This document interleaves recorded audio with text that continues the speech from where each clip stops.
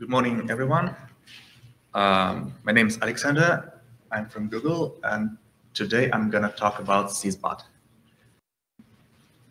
Um, after a short introduction, uh, I'll share some interesting statistics that we have accumulated over seven, year, seven years of Syzbot operation. Uh, then I'll share some updates that um, have been on Syzbot over the last year. And towards the end, we'll revisit some controversial topics about Syzbot operation. This year, there have been quite a few hot discussions on mailing lists. Um, okay. Uh, so there's actually a distinction between Syzkaller and Syzbot. Syzkaller is a standalone coverage-guided kernel fuzzing tool. Um, well, Syzbot, on the other hand, uh, is a continuous kernel fuzzing system that periodically checks out latest kernel revisions, builds them, fuzzes them, aggregates the reports, and sends them to kernel developers. Syzbot uses Syzkaller for the actual fuzzing. And uh, since 2017, uh, Syzbot has detected more than 17,000 findings in the Linux kernel and reported more than 6,000 of them to the Linux kernel mailing lists. So far, more than 3,400 Linux kernel commits directly mention Syzbot, and uh, on our web dashboard, we have recorded more than 4,800 resolved findings. So I think yeah, you might have seen our reports to mailing lists that look like this. We include information on the tree where the issue was detected. Uh, we include reproducers, console output, some vmlinux, kernel image, whatever might be helpful for you to understand the nature of the problem. And we also have a web dashboard that you can access at syzkaller.appspot.com. We display all our findings there, and uh, for every finding, we display information about every time we have hit it during fuzzing. So for every particular kernel crash, you can also see uh, kernel configurations, kernel revisions, console log, reproducers if they are present, and all other data. Um, on Syzbot, uh, we have 25 Syzkaller instances that cover different combinations of um, platforms and kernel trees. We fuzz on native ARM64 and x86 emulation uh, virtual machines on Google Cloud. We fuzz on emulated and KVM-powered QEMU instances. Um, and every year, we've been reporting roughly the same number of new findings in the kernel, roughly 1,000 per year. For every finding, Syzbot tries to find a reproducer, it's not always feasible, uh, but 64% uh, of all reported findings had a reproducer.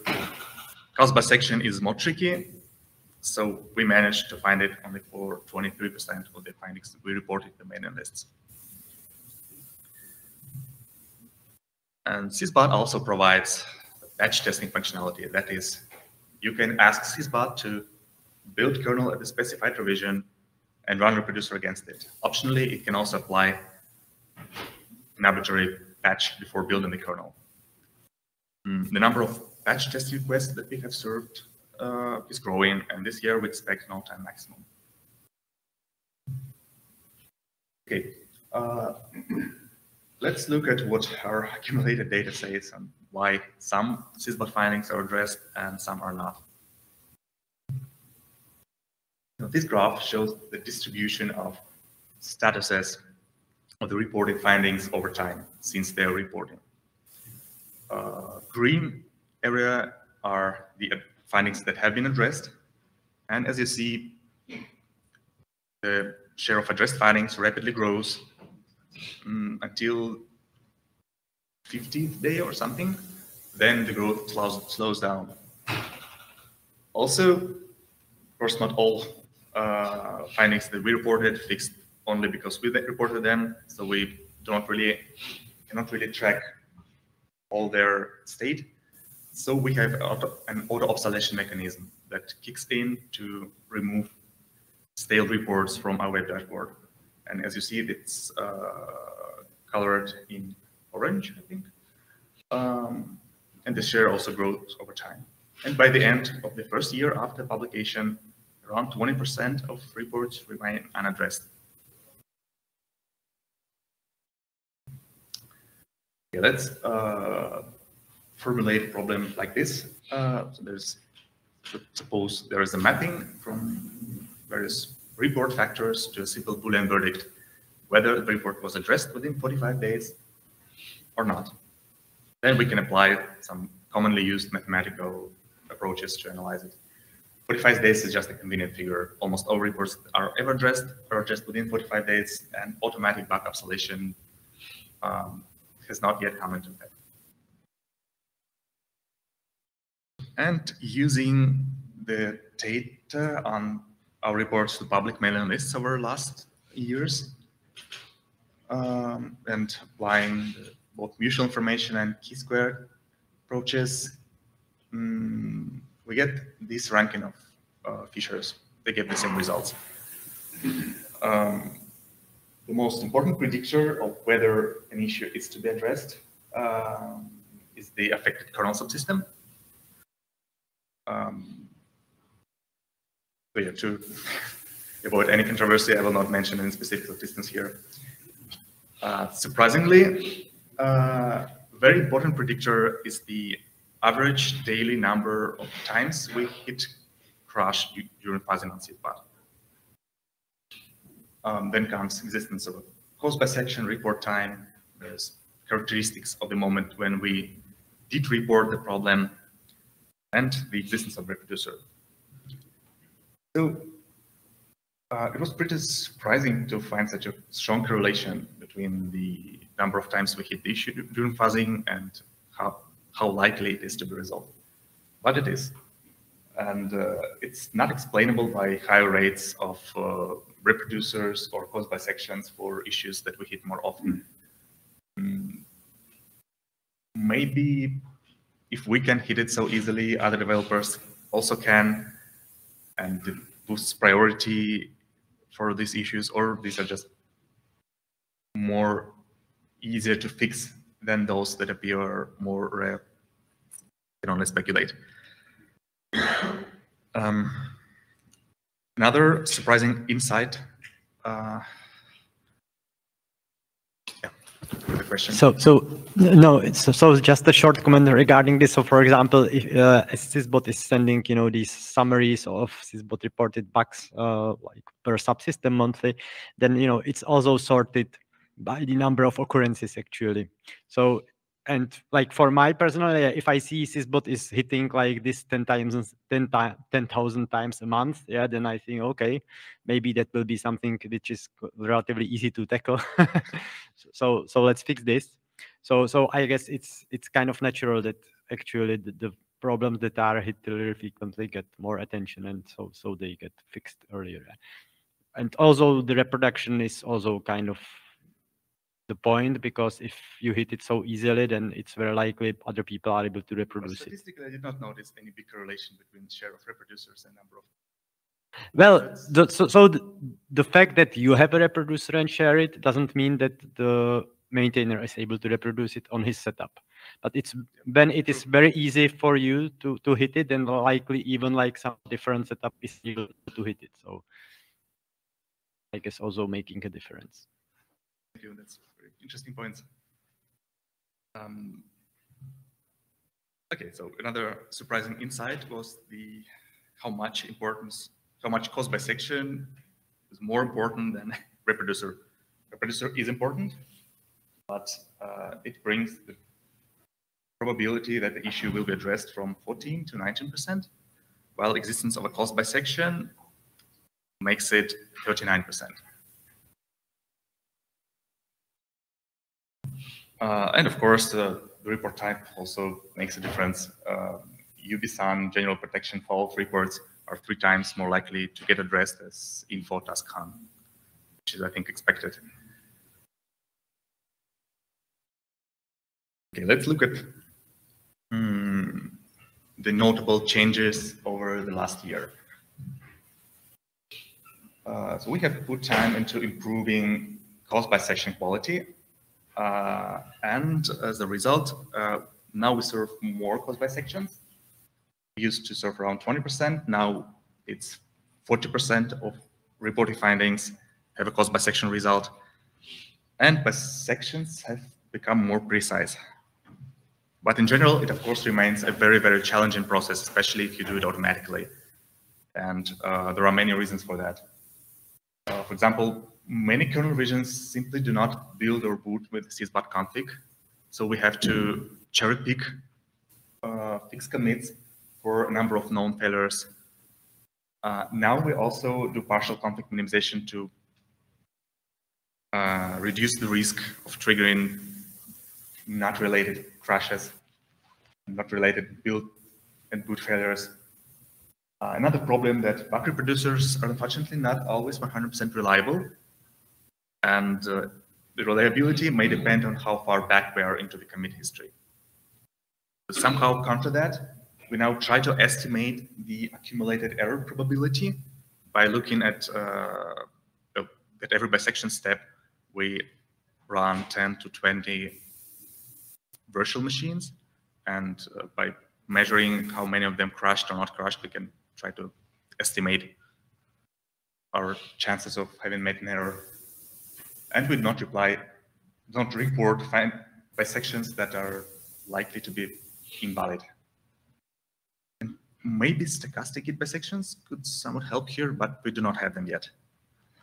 Um, Another problem is that single reproducer might trigger several unrelated bugs. And um, for that, I'm not sure there's any automatic solution at this point. Uh, to minimize the risk, we said do config minimization, we drop unnecessary instrumentation, we ignore some obviously unrelated crashes, and it somewhat helps, but not in all cases. And uh, last big problem is that some commits do not introduce the bug, but they surface it by you know, adding an assertion or by changing the execution path and um, bisection, bisecting for that problem inevitably points to that commit, and technically the result is correct, but it's useless. And here I'm not sure automation can ever help us. So we have to assume some risk of false positives. Uh, the next new feature is that on our web dashboard, we now aggregate all discussions related to the finding on the mailing list. These include both discussions under the under our report and all patch series attempts.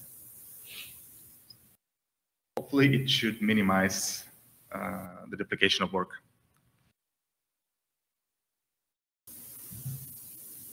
And this year, we have begun to automatically assign uh, subsystem labels to our findings. Might also have noticed it. We included in it in email subjects, and we show it on the web dashboard where you can filter by these tags. Um, if you want to see findings in a subsystem of your interest, you can navigate to our web dashboard. You need to click on the subsystem button, just like the arrow shows you.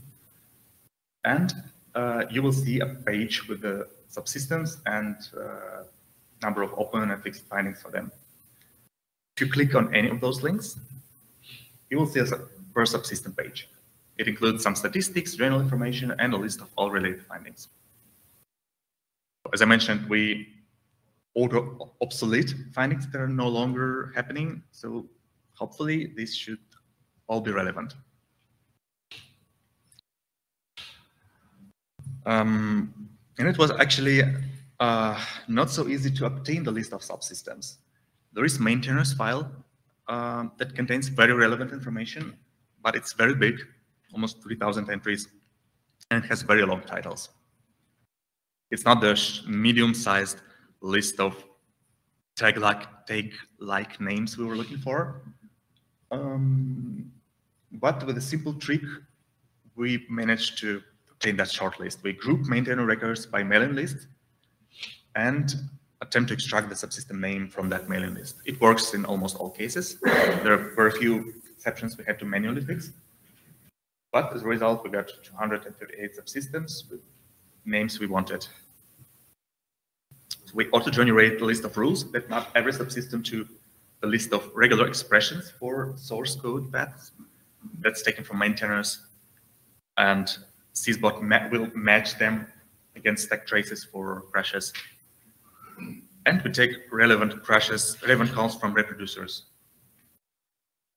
Overall algorithm is straightforward. We take X-stop crash reports for every bug, extract subsystems for every crash, and aggregate the results. I will not go into much many details here to save time. If you're interested, you can uh, download the presentation and click on the link. You will see more details there. Um, okay, in general, uh, from what I see, the quality looks reasonably good. Uh, there are, of course, uh, some false positives, and due to subsystem classification relying on other functionality that's also not 100% reliable. Um, but it works. And of course, uh, currently we have implemented it like we saw it should be, but course you know better. So please, if uh, you think there should be more of system, you think we sh should classify differently, please let us know. Uh, okay. Uh, the next section is the bug analysis functionality that uh, Syzbot has seen this year. And let's look at this simple example. So suppose we have found a bug on an LTS kernel. We have found a reproducer for it. We run this reproducer on the head of the mainline tree. It does not crash the mainline tree. We run it on the head of LTS, it crashes the LTS tree. So what are what can it mean? There can be several situations. Um, one of them is that the bug was present in the mainline tree. It got duplicated when LTS was created. It got fixed in the mainline tree, but the fix did not reach LTS. In that case, you would see exactly the same behavior. Mainline not crashes, not crashing, LTS crashes. It can also be that uh, the bug appeared in the LTS branch as a result of some unfortunate sequence of uh, cherry picks. More unlikely, but still possible. And of course, we must uh, also assume there can be errors during this procedure. But hopefully, it's only a very, very small share. So Syzbot has begun to perform this analysis automatically for its findings in LTS trees. And here you can see uh, the current results, the results as of, as of October. For uh, so, some bugs uh, did not get classified because they were, did not have a reproducer. But out of those that were classified, for 5.15, around one third of what we found uh, got an LTS on the label. For 6.1, the situation is better. Uh, it's about one quarter. So if you download the presentation, you may follow the links. You will see the actual list of bugs.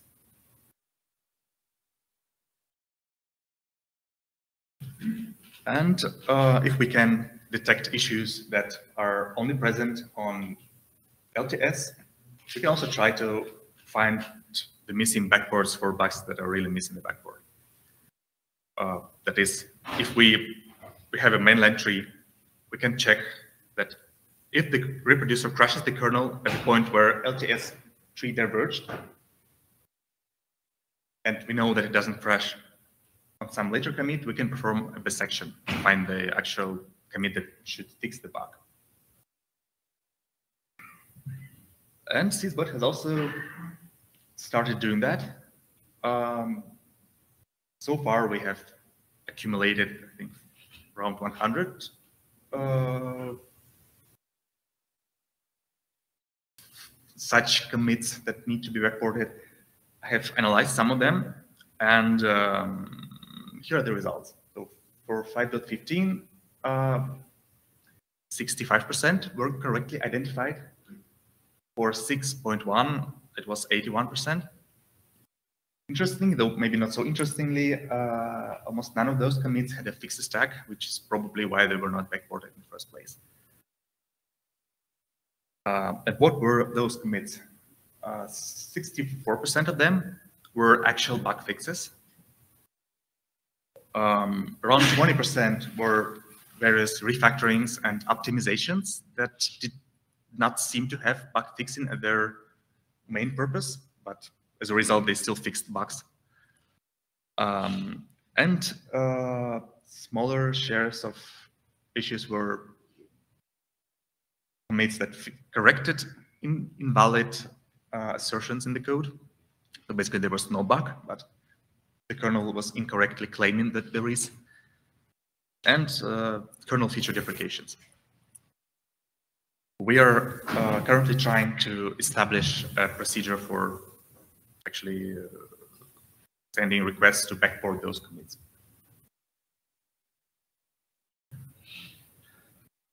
Uh, okay, and here's the last section. Um, this year, as I mentioned, there have been uh, quite a few interesting discussions on mailing lists uh, around various aspects of Syzbot operation. So let's look at um, most common uh, themes that were seen in those discussions. Um, the first one is uh, discussions around Syzbot sending reports in all the kernel code that's either unmaintained or known to be very buggy or uh, that code that will soon be deprecated or for findings that are not really perceived as bugs by the kernel community. And the usual counter argument was that, okay, if, even if the code is to be deprecated and or known to be very bad, but it's still in the kernel and it's still compiled in by many distributions, and is it correct to ignore problems in it? And uh, discussions got yeah, very big and sometimes heated. And it, of course, should not go on that way. And now we're implementing a compromise solution. Uh, we do not report uh, such findings anymore to the mailing lists, but we do display them on the web dashboard with a special tag. So, so that you can filter them out if you do not want to see them. Mm, another uh, theme is uh, Syzbot sending low severity and low priority reports. And uh, it's hard to argue. Not every Syzbot report, report is about some fundamental problem in the kernel code. Uh, but unfortunately, at least at this point, uh, the bot cannot really automatically prioritize these findings. To somehow address the problem, there are now two new Syzbot commands. One of them can set priority for the issue so that you can filter issues by priorities on the web dashboard. And the other one excludes finding from monthly reporting. And if you see any repetitive cases of such reports, uh, please let us know. And here are also a few ways uh, that we can help Syzbot and Syzkaller and actually any other coverage guided fuzzing tool to get find more interesting problems. If Syzkaller has more descriptions of the target, target subsystems interface, it will be able to generate more meaningful programs that go deeper into the code. Also, sometimes it happens that kernel crashes um, not very deep into the call stack. So we do not really get to exercise the complicated code. So once these problems are resolved, the fuzzer can go deeper. And of course, it really helps when assertions are implemented with care. So for example, warn on and bug on should not really be used for validating user input. They should only be used for situations that should never happen. And then all kernel automation will be happy. Um, it is also possible to find out how deep Syzkaller has managed to get into the kernel code. We provide coverage reports on our web dashboard. So if you want to see one, navigate to the, our main page and click on one of the links in the coverage column, just like the arrow shows you. It might get you some idea of what we are exercising and what we can exercise with some little effort. Uh, another big problem is maintainer burnout. And of course, it is much, much more fundamental problem. And uh, it's not just Syzbot. Um, but still the question is, what can Syzbot do to make the situation better, at least from its side? And one of the possible ways uh, to improve the situation is to try to shift-left kernel fuzzing. That is to fuzz incoming patch series, and so that we could find problems in them before they are merged. The earlier problems are found, the less time maintainer has to spend later trying to figure out what went wrong. Um, there is lightweighter approach possible, uh, that is not to do actual fuzzing, but at least apply the incoming patch, build the instrumented kernel, and run the corpus of Syzbot generated programs against it. It has a pretty good coverage of the kernel. And hopefully, it can catch some not too difficult to trigger problems very easily, but it needs to be evaluated. And uh, last big issue are various false positives that appear in multiple places can be invalid bisection results, incorrectly inferred subsystems, incorrectly merged reports, not fully minimized reproducers, and so on. Uh, unfortunately, some false positives are always to expect with automation. Um, so we try to focus on eliminating whole classes of, of false positives. Uh, if you have, so yeah, if you notice any repetitive cases, please let us know. And uh, while some of the false positives are purely our guilt and can, all, can only be fixed by us, in some cases we really need help from the kernel itself. Because in the end, kernel bugs are detected by kernel itself, and Syzkaller just stress tests the kernel to trigger those problems. so any improvements to the kernel's bug detection benefit everybody, not just Syzkaller. Um, and uh, another way the kernel can really help others is by providing options to uh, disable dangerous functionality or um, dangerous kernel interfaces. For example, there is kernel, kernel config that disables access to slash dev slash mem device so that for us it means that Syzbot is sure not to mangle kernel uh, computer's memory directly and uh, the, the, recent examples, uh, big thanks to Jan Kara for um, the patch series that will that we have already enabled and that should eliminate a big class of undesired file system reports. Yeah, thank you very much for your attention. Uh, small reminder, uh, right after this presentation, there will be a BOF session uh, related to how to make Syzbot reports easier to debug. So if you have any experience to share or any ideas, please uh, come visit the session. Your feedback is, is very, very helpful in making the tool better. And once again, thank you very much. If you have any questions, please.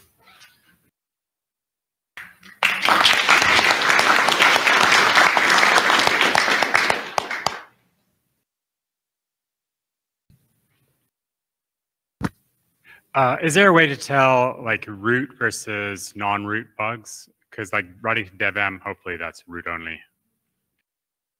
Uh, you mean bugs which require which, which whose reproducers require root to trigger it? Exactly. Uh, not at this moment, but it's an interesting suggestion. Uh, so you mentioned the maintainer burnout problem. And I agree it exists. But one of the issues that causes burnout is by sending bug reports, not patches. So what we need is an automated way of turning Syzbot reports into actual patches. Now, I'm told that various things like AI can actually do this, but uh, uh, we can smile now, but it's about time we actually tried because I can bet my bottom dollar that a maintainer gets stressed by a bug report, especially when everybody else says, yeah, I ran into that bug too, why haven't you fixed it? They get a lot less stressed by patches. So if we could do something to try and actually turn the reports into patches, I mean, even if it's just a team at uh, Google actually looking through the reports and saying, you know, set a, set a bunch of interns on it and see if they can produce patches, that will actually help to reduce the stress. Because you can say, here's a patch found by Syzbot, we didn't even send you the report because we sent you the patch instead. Thank you. Uh, I have heard about researchers uh, trying to find some ways to auto-generate these uh, fixes for uh, actually for Syzbot bugs, but uh, I don't know if how would maintainers would be really happy to see a lot of wrong patches. hey, but but but have you tried uh, you bisect to something and then you revert it, rebuild, and then see if the problem goes away? If a simple revert would fix the problem? Um, no, we haven't tried that yet. Yeah, but that could so be. Then you can help. Help eliminate some false positives. Yeah. So uh, another uh, right here, right here, yeah. Another question, but actually uh, um, suggesting. Um, I was uh, looking at some of the things you said were problems that could be solved, and um, I think a, a, first step would be to differentiate which of those issues are Syzbot specific and which ones are inherent to CI uh, by nature. So, for example, was uh, your uh, um, kernel configs uh, applied by Syzbot causes some kernel revisions not to boot or not to build correctly. So that's something that's specific to Syzbot and something that can be tackle at first, maybe. But there are some other things about, um, for example, bisections leading not to the cause of the bug, but to the commit that made it made the crash surface. That's that. I think there's not a lot you can do about that. That's basically how bisection works, and sometimes it's like that. Then you get to investigate where the root cause is, but maybe you can leave that for later. Maybe those kind of problems can be tackled in a more generic way instead of trying to you know, address it themselves, uh, address them yourself. What I'm trying to say is try to find the low-hanging fruit first. Uh, what can be improved by Syzbot and which issues are common to Great work, by the way. I think uh, uh you're doing great with Syzbot. It works very well. Thank you. It's, it's a, indeed a very fruitful point of view yeah, to differentiate issues we can fix and uh, that are related to kernel. But the one you mentioned about uh, kernel not building and not booting with syzbot configs, I think it's not really syzbot's fault because it's not that uh, by syzbot config I meant the normal Linux config, but just with the options we normally enable and I think the kernel is expected to still be able to build and boot with different config combinations. But unfortunately, it's not yep. always. Yeah, there might, there might be needed to do some work there to address uh, configuration dependencies to avoid these kind of situations, yes. So uh, thank you for the talk. Um, I read a blog post by uh, Google OpenFuzz on uh, their use usage of LLMs to generate the harnesses, not the code, but the harnesses to do the fuzzing. Mm-hmm. Um, is is any of that work like available to you to start to try and like increase the amount of coverage? Uh, we use our own language for defining these descriptions, mm-hmm. which yeah, describe what system calls there are, what data structures they expect, what fields and the rest. We try to experiment with LLMs like here is kernel code. Um, please write uh, so syscall descriptions. But so far, results are not very promising. okay, this is interesting.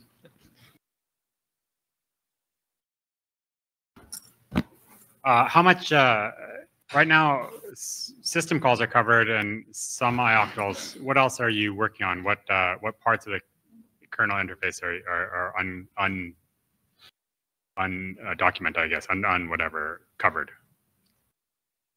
Uh, to be honest, we ourselves have there's there was very little time left for actually working on these uh, descriptions for kernel interfaces. So it remains uh, it, it, grows by contributions from outside mostly, and uh, we have a special issue on uh, GitHub that lists all big uncovered chunks of the kernel.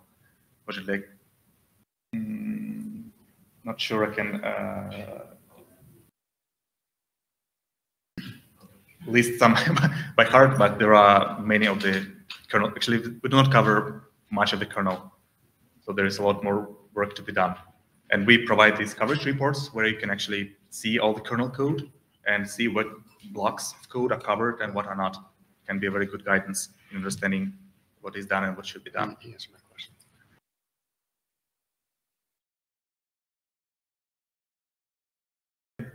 No other questions? Uh, this one. So uh, another suggestion would be if you looking somewhere like uh, LLM would be in that direction, but uh, something simpler. If you get some backtrace in some class of, of uh, let's say a driver, and then you look at the previous fixes and say, oh, maybe this is related to the same kind of fix that uh, that's like classes of bugs that you could instead of just pointing the problem bisecting, um, suggest that look at that previous fix that may be related?